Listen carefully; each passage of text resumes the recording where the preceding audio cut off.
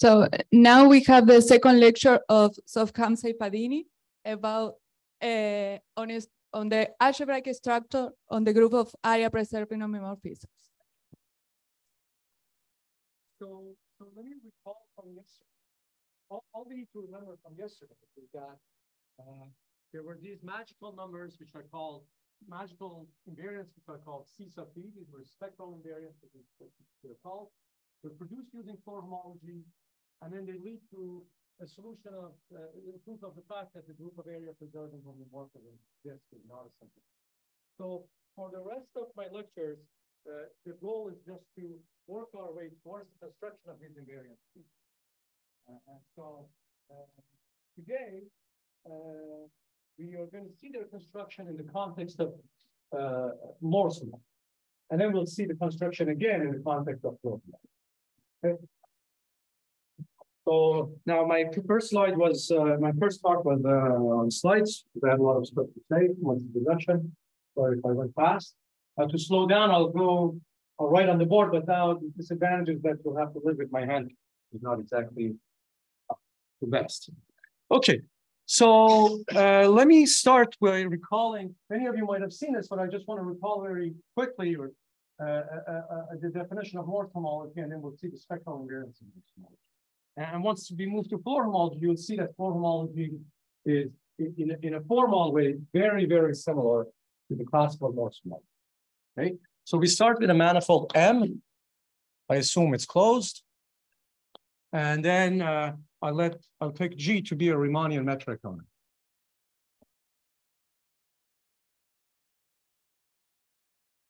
Now take F to be a function on M. And we say it's Morse. So F is Morse, meaning that all critical, so crit F, the set of critical points of F, uh, critical points of F, sorry, of F are all non-negative. So meaning if you look at the Hessian at each of the critical points, it's an invertible. Now, here is the definition of the Morse chain complex. So there is going to be a homology. First, there is a chain complex, and I give you the definition of the generators of the chain complex. So you'll see the differential in a second. So the notation is, uh, I'll use today is C sub M. There's going to be an index K, which I'll introduce in a second. The Morse complex of F is just this the Z2 vector space, so the span over Z2 of the critical function.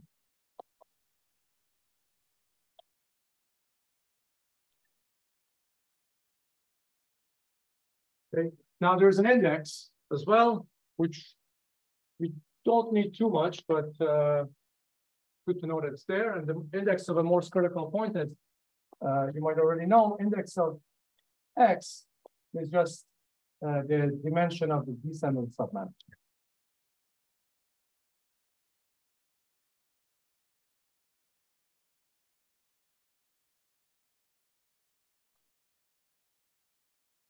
Right, so you could locally near x, you could write f equals, uh, I'm saying index equals k. That's the definition of it. So near x, f can be written as uh, in this form in local coordinates.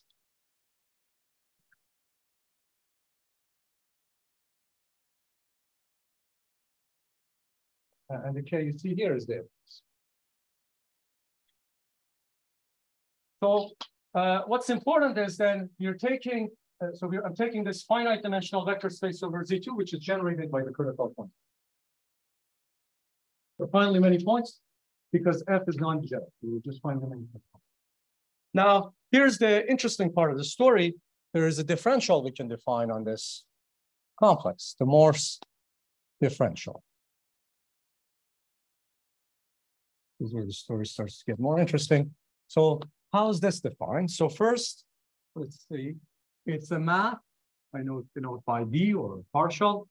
It goes from the chain complex So uh, actually, the chain complex is going to depend on F and the Riemannian metric G. So G doesn't enter the definition of the, the vector space, but it will enter the definition of the differential. So CMK, it goes from CMK of F to EM K minus one of FB, so lower than x by one. And here's how it's defined. It's a linear map, so I just have to tell you where each generator goes. So you take a vertical point X and you send it to the following sum. And I'll tell you what the sum is. The various terms in the sum are in a second. So you count certain objects, which I'll say in a second, but let me introduce the notation first. You count certain objects, it's going to be negative gradient trajectories that go from X to Y. You take sum over Y such that index of Y equals K minus one. So Y is the over all critical points of one index one lower than that. Uh, obviously, it has to be of the, this form. So it has to be some number times y of this form. Uh, I'll tell you now. Let's see what the number, th this definition of this count. So it's a Z2 count, meaning you count certain things and you record, you put zero if it's even and you put one. So what is this m hat of xy? So first, let's see m of xy. This is the space of gradient, negative gradient trajectories from x to y. So it's the set of maps u from the real line into m that satisfy the following properties. So firstly, they go at negative infinity, they're at x. So they start at x, and they arrive at y at positive. And they satisfy the negative gradient trajectory. So u dot equals minus gradient of f. Right. And this is where the Riemannian metric enters because to define the gradient of f, you need the Riemannian, right? So this gradient of f is the definition of that. Uh, once you put it in the first component of Riemannian metric, it gives you the f back. That's just the definition Right. So, I mean, the you should if you want to see a picture, I mean, you should really keep this picture in mind. People draw all the time. It's the set of, you're counting the set of objects that looks like this. This is U, this is X, and X, uh, U goes from uh, X to. you're looking at this. Now, uh, here's a fact that's not uh, too hard to prove. Maybe I'll I can push it up, so I'll write it here and push it up. So fact, m of xy, so the space of gradient trajectories from x to y is a manifold of dimension index of x minus index of x, which is in this case one. But in general, if, if x and y differ by index more than one, you still have the same point. Now, in this context, it's not very hard to see because this could be, uh, this M of xy can be identified with the intersection of the descending submanifold of x and ascending submanifold of y, is exactly that. Uh, so we, which is under generic conditions on G, it's a, it's a smooth manifold of this dimension. So this fact that should be, sorry, for generic J, for generic choice of G.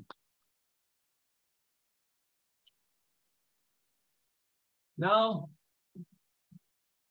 note that uh, there's an R action of R on M on the moduli space. So we call M the moduli space of gradient trajectories from X to Y. Well, because if there's a U in here, uh, then you could send, then you could translate U by any fixed number, and that's also. So I mod out by this action, and I define M hat to be the space of unparametrized gradient trajectories from X to Y. This is a zero dimensional manifold because M was a one-dimensional. And uh, there's a compactness theorem that's uh, another fact is that m hat is fine.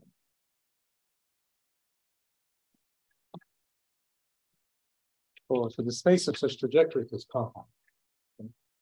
I'm not explaining, I mean, I'm not explaining a lot of why this is true. I'm just stating. Okay, so this means that D is well defined.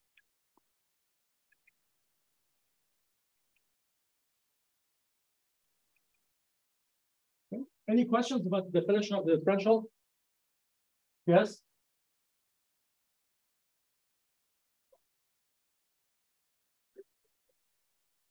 But the index difference is two there.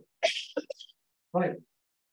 So if you take the north, that, that's actually a great example to look at because if you look at the north south on the sphere, so then, uh, so example,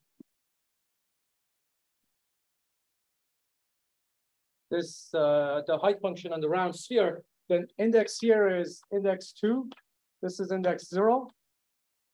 So CM two is equal to Z2, CM1 is zero, there's nothing and Cm sub zero is also Z2. So then the differential is zero because the differential lowers index by one. So it goes from here to zero and then there's nothing to go.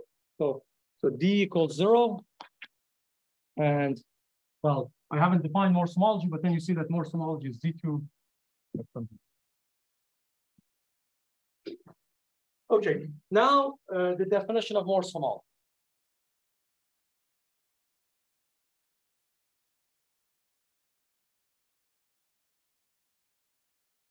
So it turns out that d squared is zero, meaning if you look at CMK, I'm dropping F and G from the notation. Uh, so CMK plus one, D lowers it, the index sends it to CMK, and then you look at D again, lowers index to CMK minus one. Uh, I'm saying this composition is, okay, so it goes, so it gives you zero, which means that kernel of dk includes, contains image of kernel of d, well, maybe I should call this dk plus one, this dk, kernel of dk contains image of dk plus one. Okay, so then you could define the Morse homology uh, of the pair FG to be kernel I'll put this on the top or this. So we define Morse homology of the pair FG to be the kernel of the auto image. Okay, so it's a vector space over C. Let me quickly explain. So, so with this definition, uh, obviously makes sense once I know these squared. Let me quickly explain why d squared. So here is why d squared is zero. Let's look at what d squared actually counts.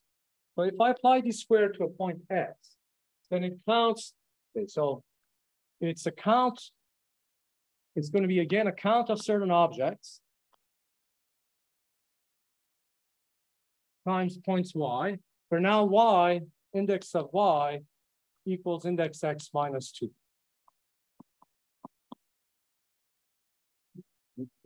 And what do we count for objects that look like this? So you start at x, you apply the differential, you arrive at some point, you, you, you know, you have a, follow a gradient trajectory, you go to a point of index one lower, let's call it z, and then you apply z again, apply d again, and now you arrive at y. You, you, you count objects that look like this. These are called like broken so what should go here is broken Morse trajectories, trajectories from X to Y.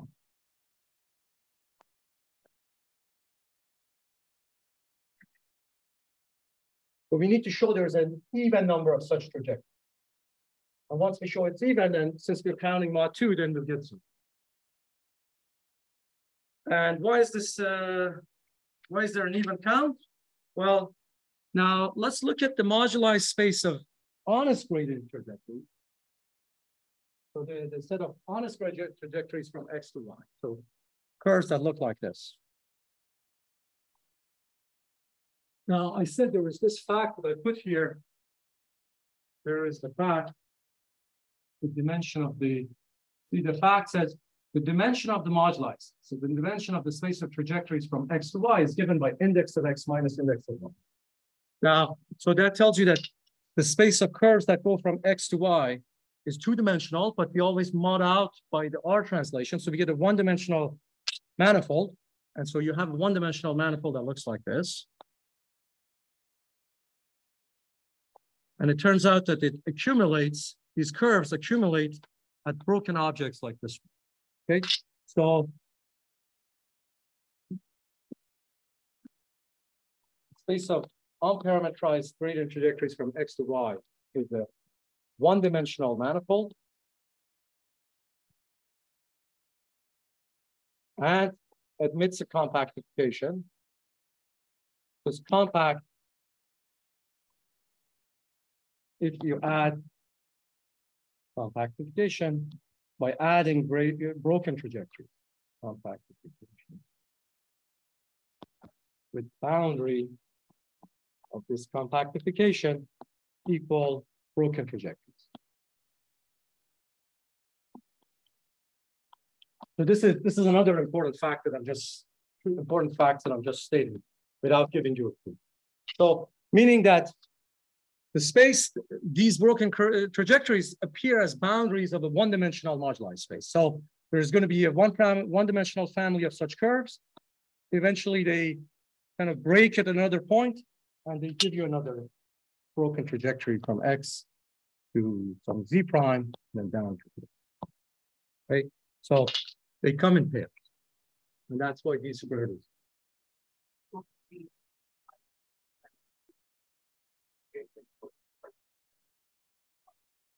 But that's uh, that, that's kind of what goes into the the space uh, the the this fact here. I'm not explaining why that's happening, but it, I mean, if that were to happen, then the, the, the theorem that proves this shows that there is uh, there, there's a gluing theorem that tells you near a broken trajectory, you have a one-dimensional family, but you could only smooth in one direction, but not in two directions. So that, that goes into the proof. Yeah, so there's quite a bit of uh, let's call uh, the, the, the gluing theorem says that you could find you take a broken trajectory nearby, you can find these smoothed out trajectories, it tells you exactly how many directions can you find these trajectories up, in how many different directions you could find them. Turns out we just one. So if you had your situation and you were going around, then it would turn out that this is actually not a broken trajectory. You'd be on the sphere.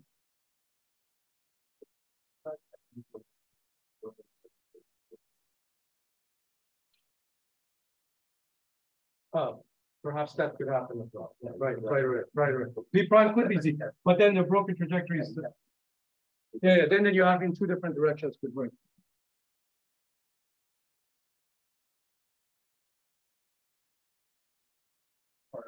What was this? Admits a compactification.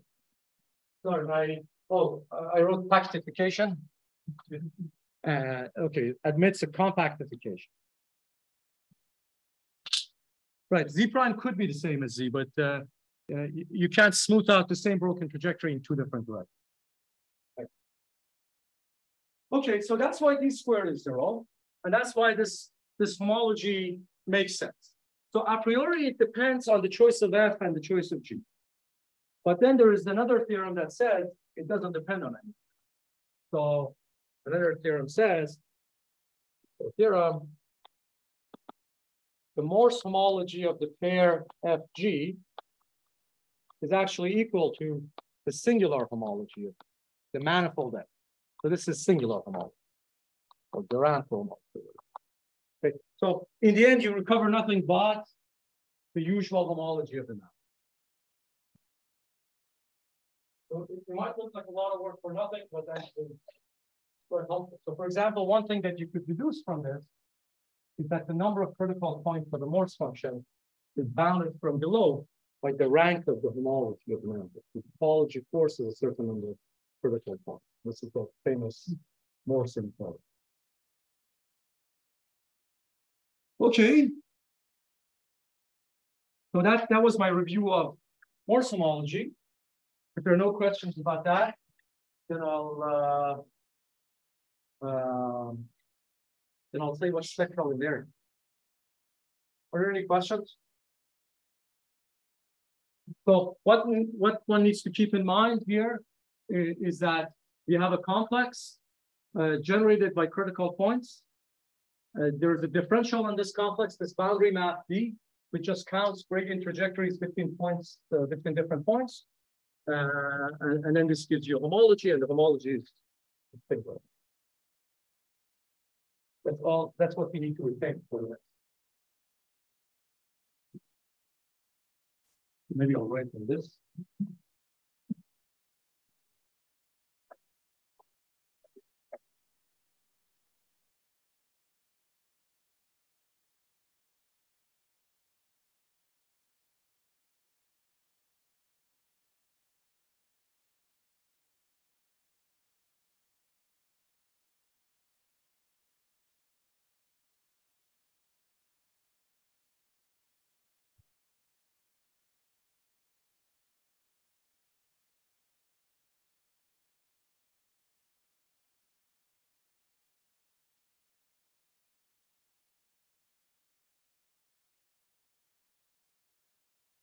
Now, spectral invariants.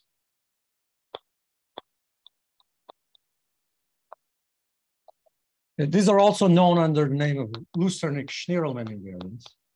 Uh, uh, uh, I guess they were the first people to introduce them. Uh, so here is what we'll do. Fix T in R.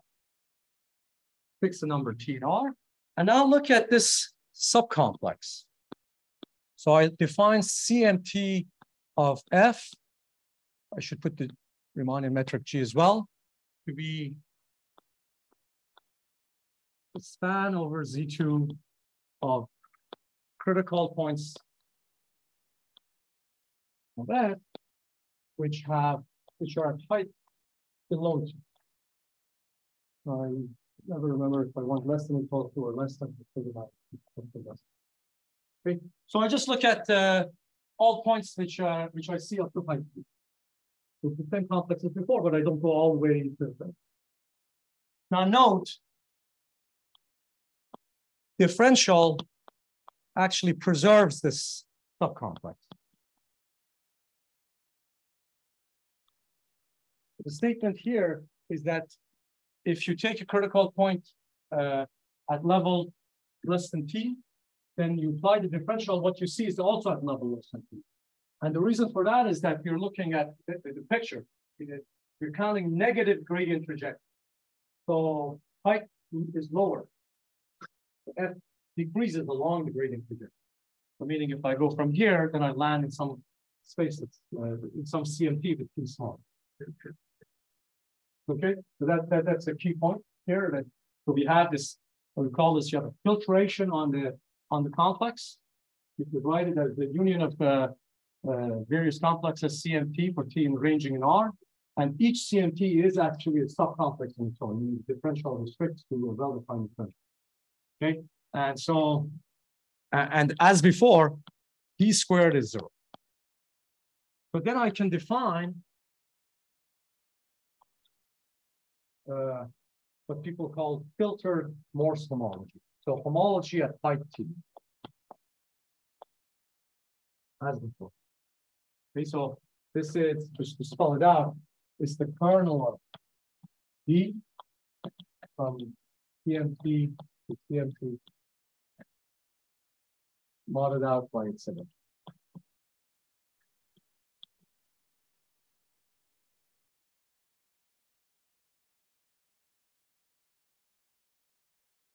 Okay, so for each value of t, then I get a new vector space.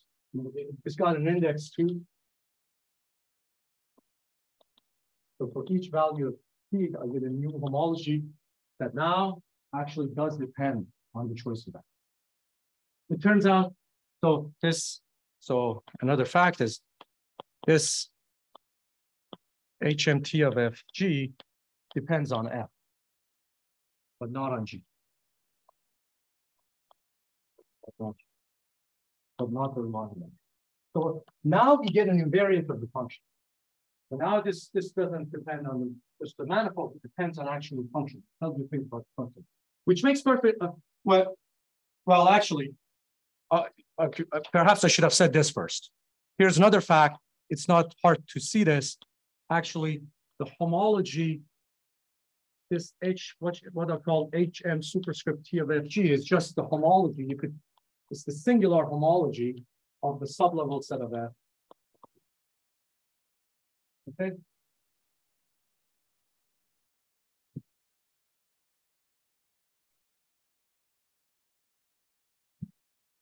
So if this is my my Morse function,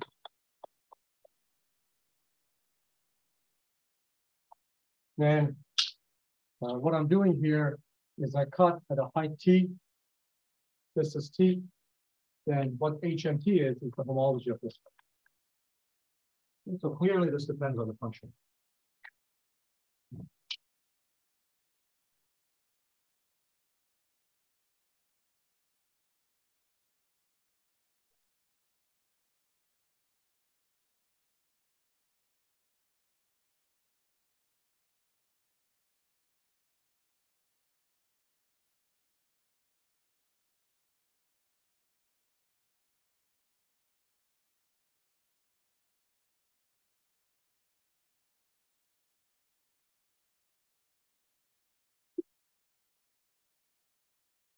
Um,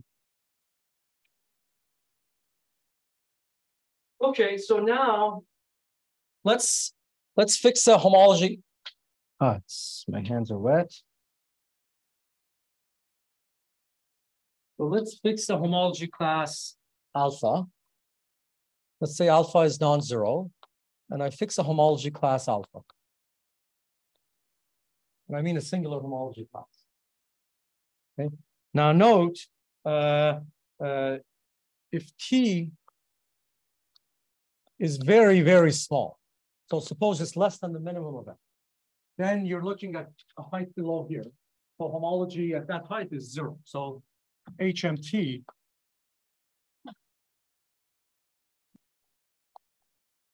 HMT is zero. And if T is huge, so if it's bigger than the maximum of the function, then HMT is just everything. You see the singular movement. Singular given. Okay, so at some point between the minimum and maximum, uh, you you began to see the homology class alpha, right? So if you so here, when t is very small, you cannot see alpha inside this filtered mode.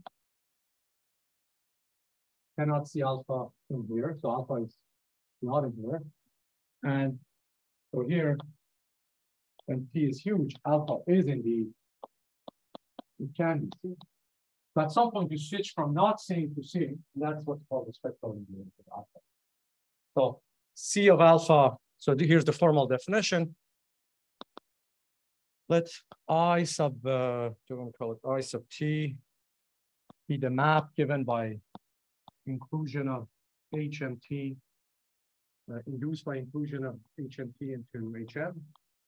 We should be just thinking this is the inclusion induced by the inclusion of F less than T into the entire map.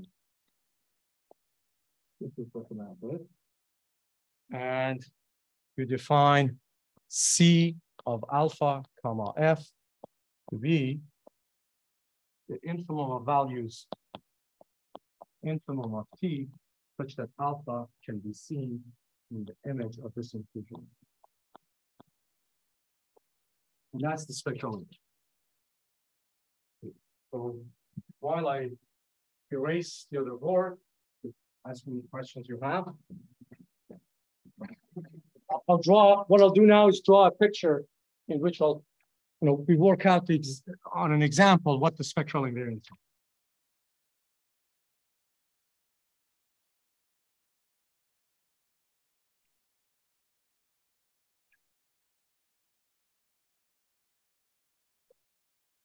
So here is uh, uh, here's a nice example. Go back to the torus.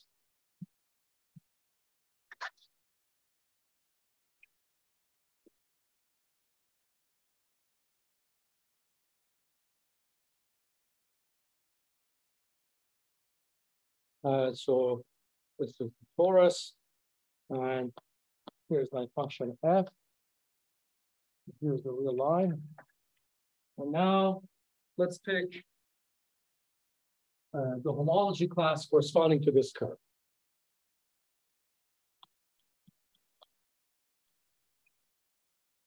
So what we are going to do is look at look at all the sublevels of f and, and start at, uh, at zero and come up and see at what point we actually see the homology of the homology class alpha in this in the in the sublevel set of them. So if you start here at the minimum, obviously you don't see it. There's, I mean, the sublevel set at this point just a point. You cannot see alpha. You come a little further up, say at this height, and clearly you cannot see anything that's homologous to alpha in here. It's a contractible distance, can't contract contain this alpha. And I think you can all see that once you hit this point, as soon as you pass this critical point, then you see curves here, which are homologous to alpha. But this is the level at which you see alpha, and that's C of alpha. Okay?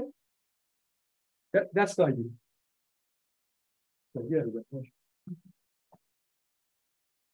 Any questions? You know, I'll, I'll, write down what the other spectral invariants in this example are too. So this is the homology class of the point. So C of point, this is C of point F. And that's just the minimum. Uh, if you look at this curve, call it beta, well, you, you begin to see beta once you pass the second critical point here. So the spectral invariant corresponding to beta, C of beta F is, is here. And finally, the, the one remaining uh, homology class is the fundamental class where you see everything is you see that the maximum. So, so that's the, the spectral invariant for the fundamental class of the torus, and it's just a maximum.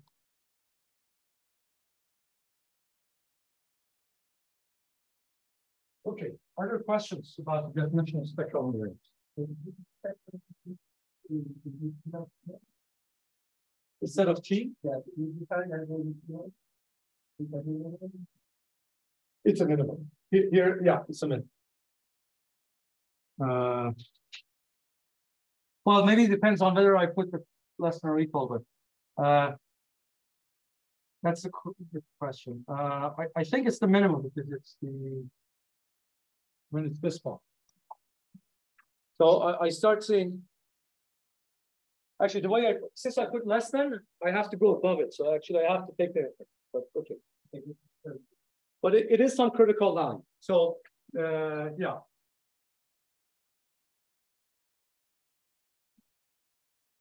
So maybe I'll put some properties. The properties of, these have really nice properties that I'll put on this board. Uh, other questions about the definition?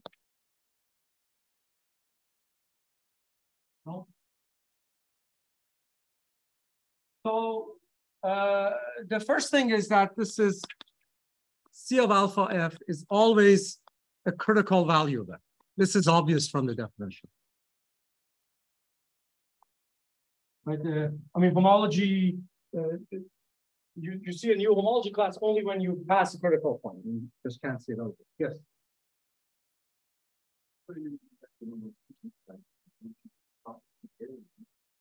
No, you have no. At this point, you're seeing. Uh, so you mean after this height?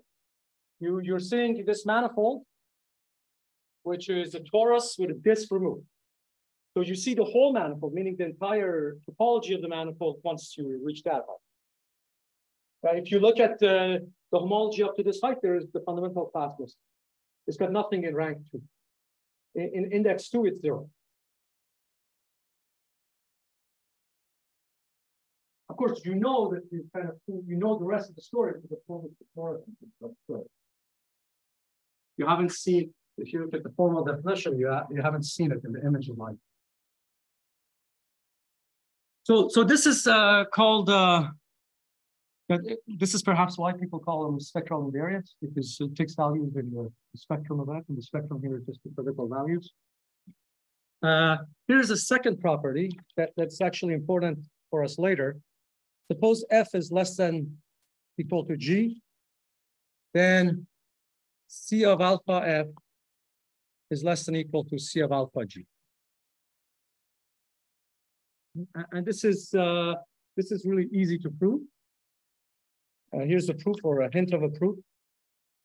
Well, you're, if you look at the sublevel set of f at t, since f is smaller, then this contains sublevel set of, and now g, oh, sorry, I have to change g to an h because g was a Riemannian metric.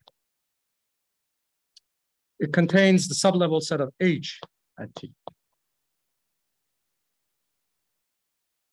So, so this set is larger, therefore you're more likely to see alpha in here first, and that's it. And there's a third property that I'll put on the other board that we'll use later on as well.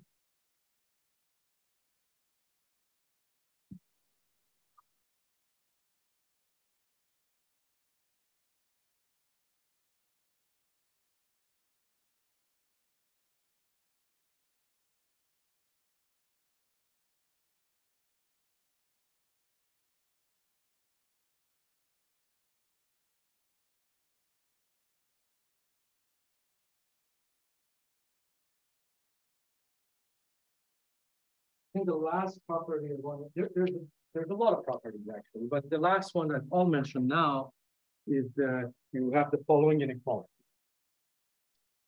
Property three.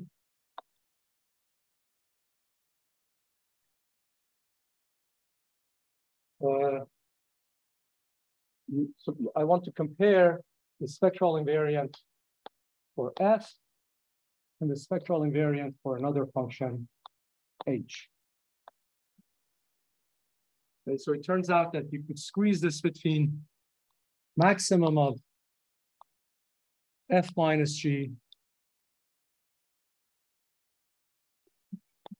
and the minimum of F minus G.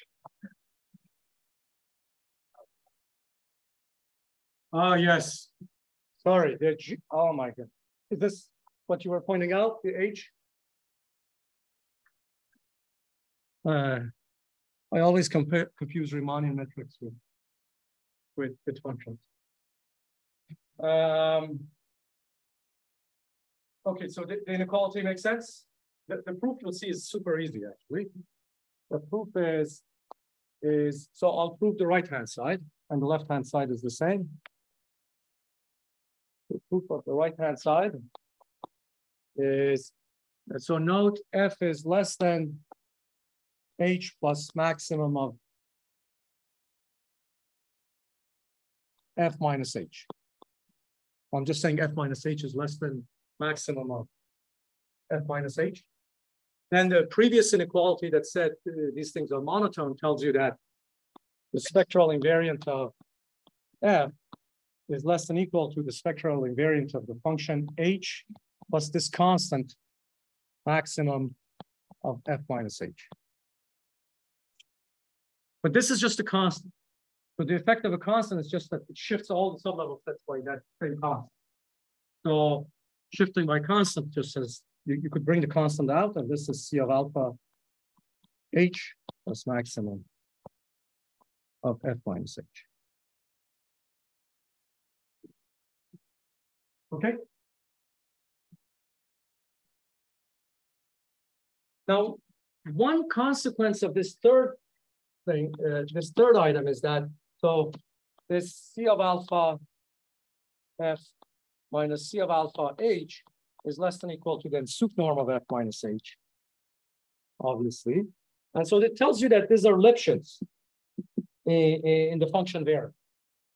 So if you fix alpha, then you have you have a mapping for C of alpha. If you fix alpha, this is a mapping from the space of C infinity functions down M to the real line, which is Lipschitz in the super okay?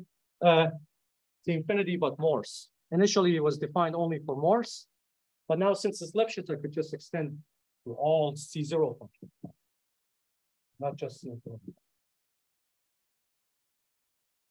Does that make sense? This is just a remark, so we, we will need it later. So uh, corollary is that uh, this was the corollary and hence extends to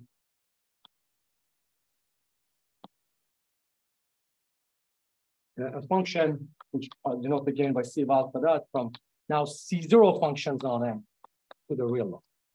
Right? The Lipschitz function always extends to uh, to, to so now you could actually make sense of critical values of continuous.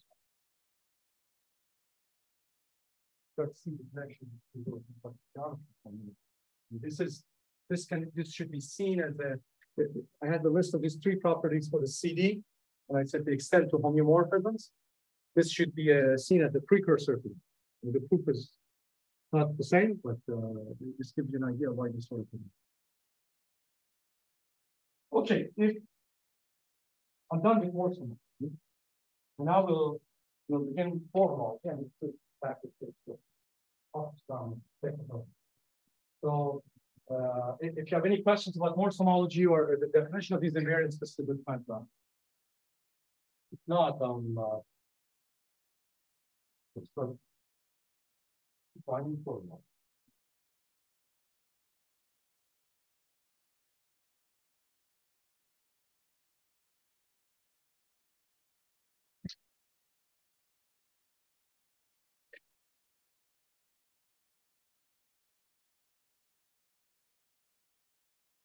Of course, some of you might be wondering why I did Morse homology at all here, because you could be defining this same invariance by just looking at the singular homology at sublevel. So completely avoid the use of Morse. The reason is that that approach just has no chance of working when you do when you do Floer homology. But when you think of Morse, when you approach it via Morse homology in this way, you'll see uh, at a formal level, it, what I'm going to do with Floer homology is identical to what I'm doing. Right, right. You, you, could use various ways to do it here, but now you're on a smooth finite dimensional manifold. Now we're going to move on to uh, the loop space of the manifold. So that, that, that approach just doesn't work. Uh, it works if you have a nice, nice function like the energy functional on the on the loop space, which is uh, what Morse did in the first place. But uh, we'll see for us, we're, we're, going to work with the action functional. And that's not a that's not nice enough to be able to do this sort of thing.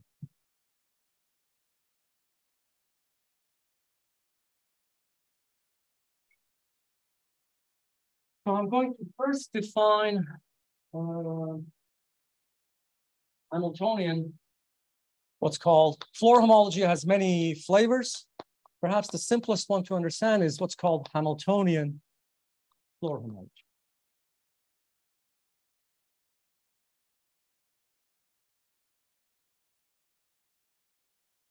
So for this part, I'll make some simplifying assumptions. I have a symplectic manifold M, and I assume that uh, uh, you could assume that omega, you will assume that omega vanishes on pi. Or if you prefer, you could assume just pi 2 is zero. So example, could take the force, So meaning if you take any sphere in the manifold and you integrate the symplectic form over it, you're supposed to get zero. And this is true for T2N because pi 2 is, so any the post cohomology class, when you integrate it over something that's no homologous, you get. Uh, when I actually, in, in real life, here, you're going to actually need to remove this assumption. But okay, that, it's just a technical matter. It makes the notation much simpler.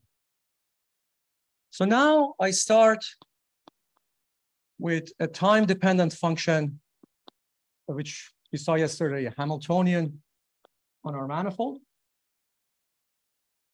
Uh, uh, and I assume it's non-degenerate.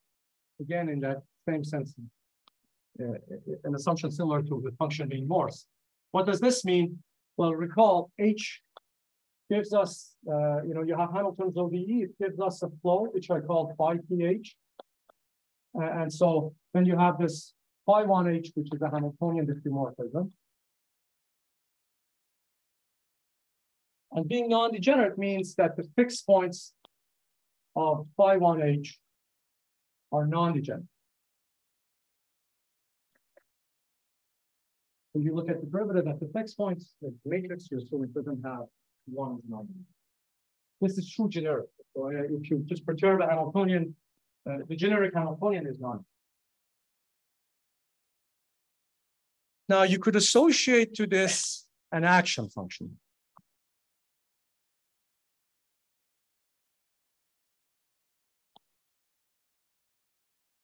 which is denoted by A sub H. So let me first explain what the domain of this functional is. The domain is going to be what's called omega of M. It's the set of contractible loops in it. Um, so uh, I guess I want that X is contractible. So there's a map from V to M, such that uh, the boundary of V uh, the boundary uh, U restricted to the boundary of V gives us. So it's just a it's just a set of contractions.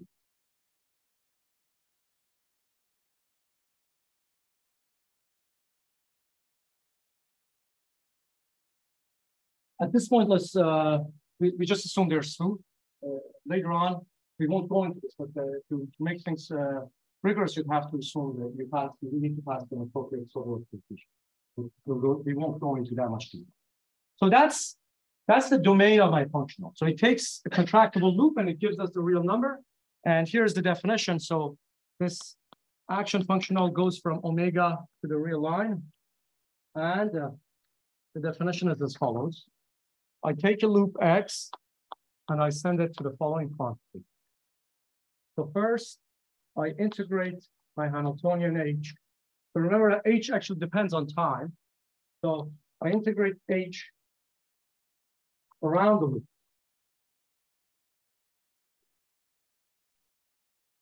And then the second term is I subtract the area of a capping disk loop. So what's U for, for the loop X? So remember, X is contractible. So meaning I have a, I, ha I can put a disk here, the choice of a contraction U, and I subtract the area of this U. Now, this is well defined. It doesn't depend on the choice of U because I assume pi 2 0, or because I assume omega vanishes on pi 2. So since uh, uh, well defined, uh, well, because uh, if you have X and you have U on this side and U prime on the other side, well, the combination, the difference between the two gives you a sphere. And so uh, omega of U, uh, this integral, which I'm denoting by omega of U, is the same as omega of U prime because the exponent omega vanishes. Okay? So this is the function for which we're going to do more tomorrow.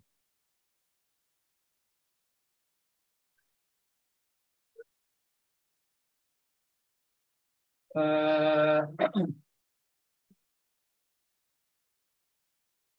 uh, I guess a priori, yes, but then when you reparameterize, I think because I'm changing.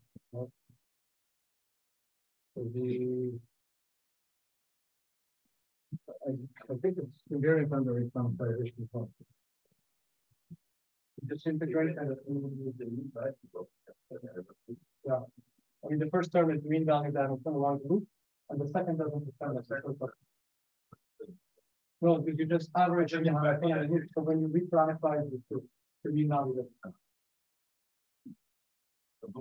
it's, yes, yes. Thanks for pointing it out. Um, Excuse me.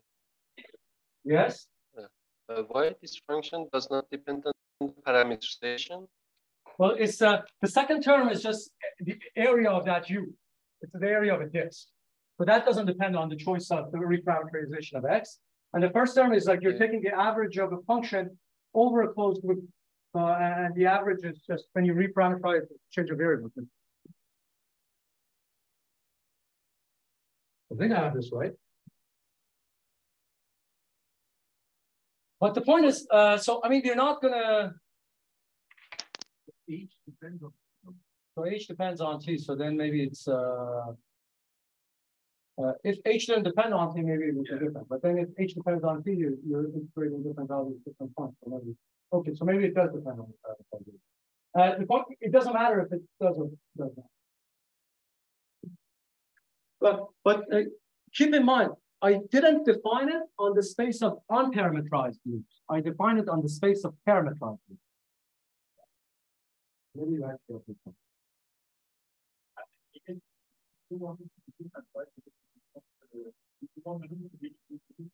At the end, you want it, you're right, so because if you turn it, then it won't be uh, uh, the same, thing. yeah.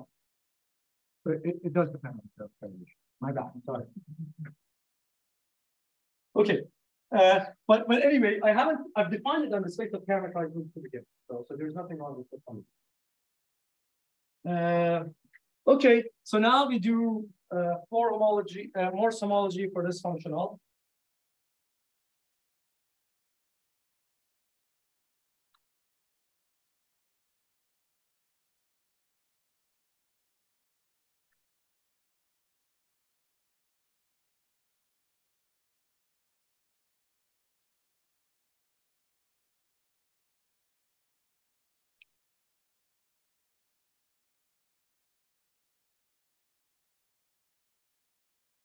So the motto is Hamiltonian Floer homology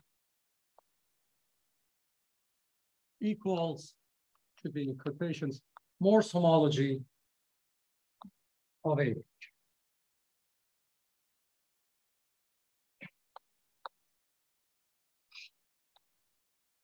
Now, uh, so what do we need to do? First, we need to find the critical points of this function. Uh, as before, let's let me explain what the critical points are without actually working it out. It's a simple computation. This is the, the old variational prin- principles. Uh, X is a critical point of AH.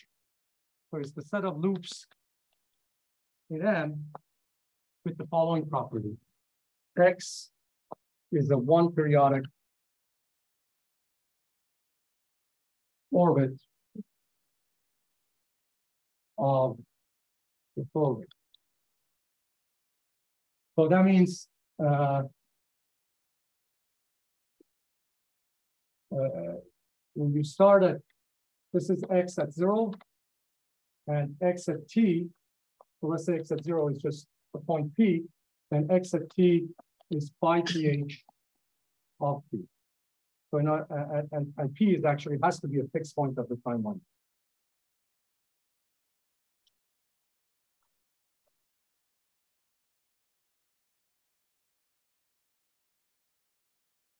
Okay, so, so the critical points, and, and this is an easy computation. I mean, I, I, I won't work it out because I always mess up the computation, but this is actually extremely simple. Uh, what to prove this, what you have to do is take a vector field, take the formations of this loop. So you take a vector field defined along this loop's data. Uh, and you just uh, calculate DDS of AH at X plus S theta. By X plus S theta, I just mean the deformation of the loop to this direction. Uh, and uh, you will see that uh, if you do the computation, in the end, you end up with something like this. You, you do the computation, dot, dot, dot, with an exercise the chain rule, and you get this quantity. Integral of omega of xh minus x dot theta. Okay. So if you have a critical point, no matter what zeta you put here, it has to be zero. So xh has to be x dot. So meaning x is the flow line for the, x is the one, uh, one periodic orbit of the of time.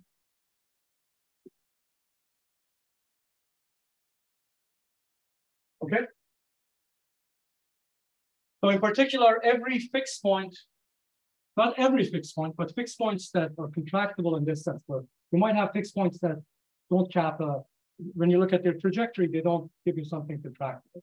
But fixed points that are contractible are all in. So this is one-to-one -one correspondence with contractible fixed points.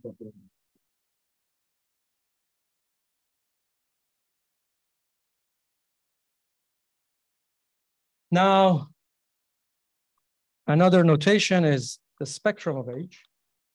This is the set of critical values of H. So it's A, uh, H at X, where X is a one periodic orbit.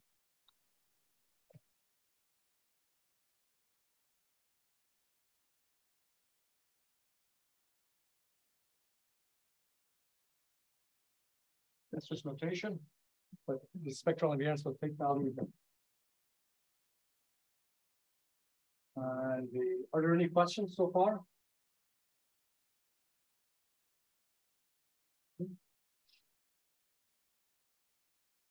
So I should say, uh, Hamiltonian Floer homology was introduced by Floer in the first place to get lower bounds for the number of fixed points or one periodic points, one periodic orbits of Hamiltonian floor. So, so as you see, so that I mean that's why you're interested in the action. Critical points are exactly the object that was interested And now uh, the Floer complex is exactly the, the same as the Morse complex. So C F K of H is equal to the Z2 span of uh, uh, uh, of x, in, which is of critical points of this function. Okay, and now so one periodic orbits, and now there's an index. So the index of x has to be k. The index is called the Conley-Zehnder index, and uh, uh, I won't go into the. You just accept for me that there isn't. We won't really need it, but but you should know that there isn't. And every periodic orbit does it. Finally. Okay, so we formed uh, a vector space. Uh, now, uh, so I could, I'll recall some of these tomorrow, of course. Oh, I should probably go to this.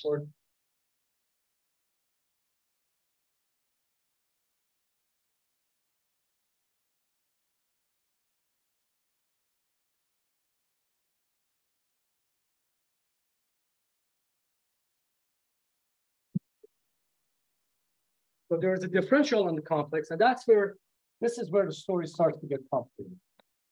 So there is the famous Floer differential. So it's a mapping, uh, a linear map, P from CFK of H. It depends on a choice. So remember, in Morse homology, we had a Riemannian metric. There's going to be a Riemannian metric uh, which is defined via the choice of what's called an almost complex structure. Uh,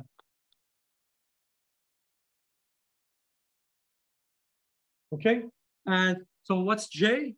J, let me just say right now is uh, J is an